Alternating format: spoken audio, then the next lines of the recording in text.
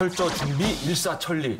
야 그래도 참 며느리가 사라지자마자 네. 그거를 뭐 다시 못 돌아오게 그냥 죽음을 기정사실화 해버리는 게 좀. 근데 또 이런 이런 생각도 가능할 것 같아요. 보니까 정말 크게 너그럽게 봐가지고 내가 요 정도로 너를 용서해 줄 테니 목숨이나 부지하거라. 며느리 사랑은 시아버지라고 살려주기 위해서 그렇죠. 나름 고도의 전략을 짠 거는 아... 닌가 본데요, 교수님. 네. 말이 안 되는 얘기. 그럴 수도 있는 게 명성황후를 찾아서 지금 계속 막 다니는 중이니까 이미 아니. 죽었다. 잘 아시다시피 이제 흥선대원군과 며느리 사이는 아주 안 좋았던 걸로 알려져 있잖아요. 왜 틀어진 걸까요? 그래서 네. 그래서 예. 류근의 카더라 통신입니다. 네. 흥선대원군과 명성황후가 등돌린 결정적인 이유 바로 산삼 때문이었다고 합니다. 산삼. 산삼. 산삼. 산삼? 예. 이거 자막 깔아주세요. 네. 제가 시옷 발음이 잘 안 돼요. 명성황후는 고종과 결혼한 지 5년 만에 귀한 아들을 낳습니다. 그런데 이 아들을 태어난 지 나흘 만에 잃게 됩니다. 음. 항문이 막힌 쇠항증이라고 하는데요. 아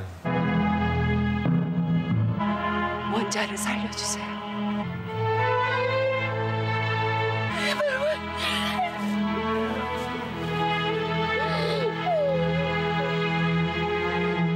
명성황후가 임신했을 때 대원군이 준 산삼을 먹고 그렇게 됐다는 겁니다.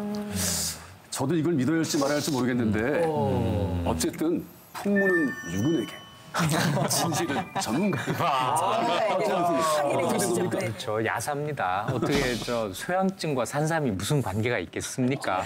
자, 근데 대- 흥선대원군이 이제 명성 왕후를 공격했다고 의심받는 사건이 따로 있잖아요. 1874년 명성 황후의 양오빠인 민승호 집에 의문의 상자가 배달된다. 밤중에 그건 왜 부득부득 여시려고 합니까?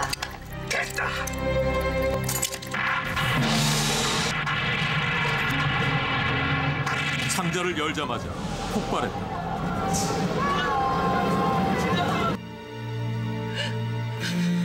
명성 황후의 친정 식구를 노린 폭탄 테러. 이 사고로 양오빠인 민승호는 물론 친정 어머니와 조카까지 목숨을 잃고 마는데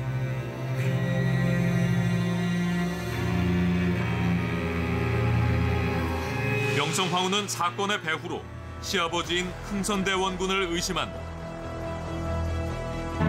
나는 장작더미 대신 가시덤불 위에서 잠자며 쓸개를 씹는 대신 뼈에 사무친 원한을 마실 겁니다. 예, 갚아드리고 말고요.